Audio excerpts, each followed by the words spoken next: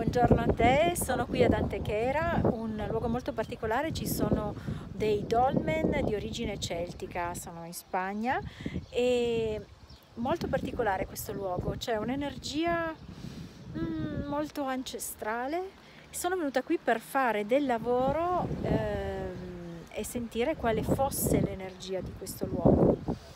Bene, in, un, in, uno di questi dolmen è accaduta una cosa molto particolare, c'è un pozzo che mi ha stimolato nel fare un lavoro proprio, è come se chiamasse tutto quello che mm, potevo lasciare andare.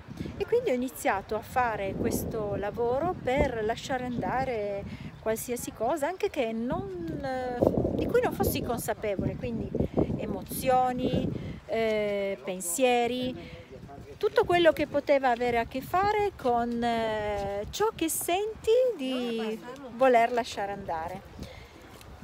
Cosa è accaduto? È accaduto che si è presentata l'entità che era lì per eh, proteggere questo luogo. Scusa se faccio queste facce, ma c'è un sacco di gente che mi voleva passare dietro.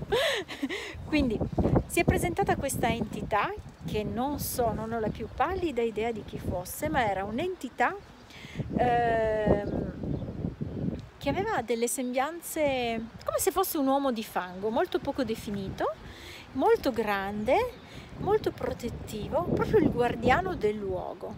Ed è successa una cosa molto particolare perché un mio amico che era con me, quando gliel'ho descritto, mi ha fatto vedere un'immagine di un una scultura di una, dire, di un calco che hanno fatto nella zona basandosi su alcuni non so come chiamarli, scavi, bassorilievi, ed aveva le stesse identiche sembianze, qualcosa di veramente molto molto particolare. Bene, volevo solo di condividere questo con te e questo può essere anche uno stimolo per te per ascoltare il tuo sentire, per avere fiducia di quello che percepisci, a prescindere da quello che sia il tuo livello di percezione. Ascoltati che la vita a volte ti dà dei segnali veramente molto interessanti. Ciao e buonissima giornata!